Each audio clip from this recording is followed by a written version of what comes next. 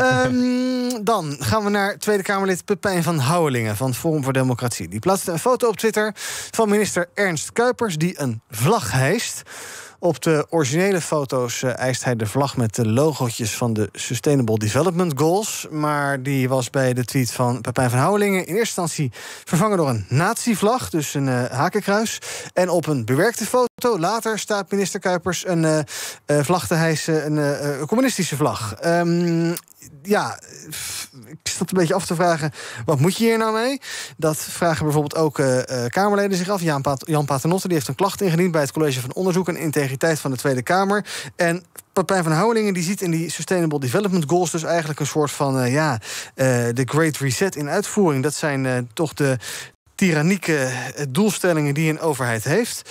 Maar als ik die SDG zo lees, en ik weet, Pieter, dat jij daar al achter staat, bijvoorbeeld. Um, ja, dan, ja, dan is dat toch niet heel erg dat je denkt van, goh, heel tyrannieke bedoelingen. Bijvoorbeeld eh, dat je geen armoede meer wil en geen honger. En dat je bent voor schoon water en dat je bent voor uh, leven op het water en het land wil beschermen. Ja, um, kan jij enigszins proberen mee te komen in het hoofd van Van Houwelingen... hoe hij erbij komt dat dit iets te maken heeft met nazi's blijkbaar... en Great Reset-achtige... Nou, de, de, link naar nazi's die snap ik zeker niet. Ik bedoel, dat heeft eh, ten gevolge gehad dat uh, in ieder geval 6 miljoen Joden... maar ook heel veel andere bevolkingsgroepen het leven hebben uh, moeten geven... voor een bepaald fascistisch regime. Mhm.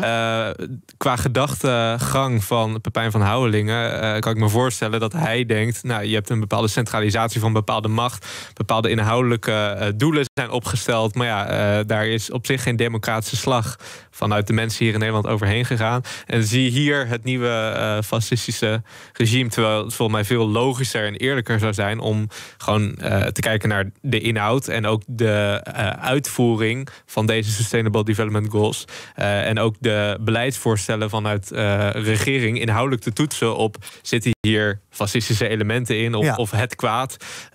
of sluit het inderdaad aan bij die harmonieuzere, duurzamere, democratische wereld waar we naar streven. En volgens mij, als je gaat kijken naar die development goals, uh, als je het hebt over schoon water en als je het hebt over goed onderwijs, dan werken werkt dat nu voor heel veel instellingen, onderwijsinstellingen, bedrijven en uh, ook overheden, als een heel fijn middel om uh, nou, ook als een soort moreel kompas niet alleen uh, bijvoorbeeld winst na te jagen of bepaalde populariteit, maar ook mhm. echt vanuit een globaal perspectief bepaalde universele doelen te bewerkstelligen. Ja, je mag dan prima kritiek erop hebben zelfs en ook Zeker. op de democratische legitimatie ervan en dergelijke. Ja, exact. Maar Kuipers en Van Gennep die op die foto staan, die over overwegen nu stappen. Die noemen het eh, ook uh, stuitend. Een nieuw dieptepunt in de bejegening van bestuurders en politici. Um, ja, wat moet je hier tegen doen, uh, Tarim? Wat kan je hier tegen doen? Nou, ten eerste is het een totaal gebrek aan respect voor collega's, maar ook een beetje dom. Want de, de ministers en het kabinet die regeren bij gratie van het parlement, dat hen de vertrouwen geeft om dat te doen. Pepijn van Houwelingen is een parlementariër. Die geeft dus indirect ook vertrouwen. Hij maakt dus zichzelf indirect ook een beetje deel van dat vermeend nazi-regime. Dat wilde ik even noemen. Uh, ten tweede, wat kan je tegen doen? Uh, lastig. Uh, Kamerleden genieten sowieso immuniteit strafrechtelijk gezien voor wat zij in het parlement zeggen. Dat zag je ook rondom die Wilderszaak, dat dat een groot debat was. En daarbuiten weet ik dat niet zo goed en zijn die grenzen ook een beetje vaag. Ik denk dat het sowieso een krachtig signaal zou zijn om te zeggen van ja, dit pikken we niet. Ja, uh, maar je wilt natuurlijk ook niet het presidentschap hebben van een minister die aangifte doet tegen een Kamerlid vanwege een tweet, los van de inhoud hiervan. Want dat president op zichzelf versterkt ten eerste Pepijn van Houweling is een punt. Mhm. En ten tweede, je weet niet hoe het in de toekomst gebruikt zou kunnen worden. Maar eigenlijk weet je het ook niet dus.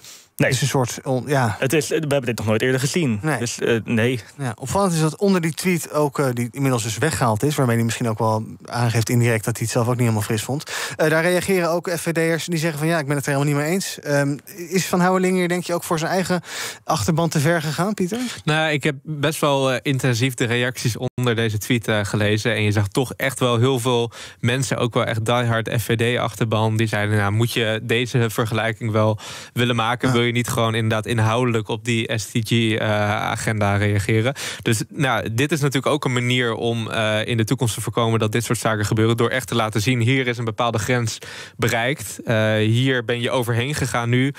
Verwijder het, neem het terug en weet voortaan te stoppen wanneer je die grens bereikt. Ja, Ik denk dat die partijen heel lekker kicken op de aandacht. En volgende Oh, keer dat- hebben we het er weer zeker. over. Ja, en je doet er niet zoveel tegen, toch? Nee, ja. dat is het mechanisme van, eh, van populistisch extreem rechts. Ja.